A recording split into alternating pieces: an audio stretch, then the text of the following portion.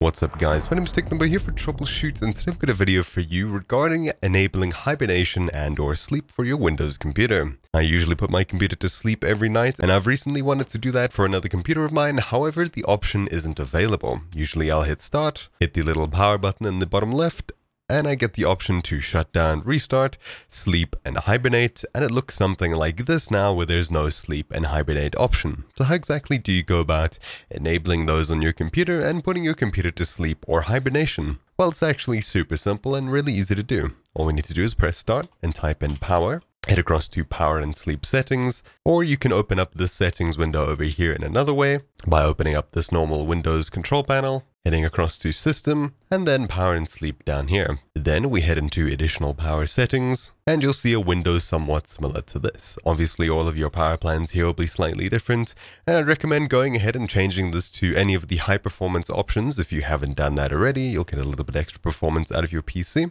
Of course, if you're on a laptop, you may want to choose balance or even power saver, but just know that high performance is here, or performance, meaning that you can get some extra power out of your PC.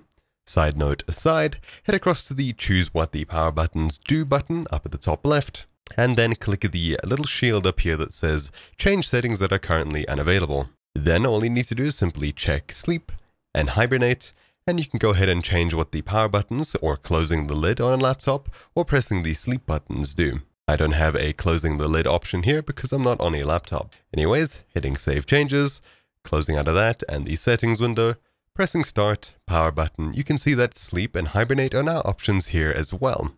Anyways, that's about it. Super simple, super quick. Hope this helps you in some way or another. My name is Bean TechNobo here for TroubleChute, and I'll see you guys next time. Ciao!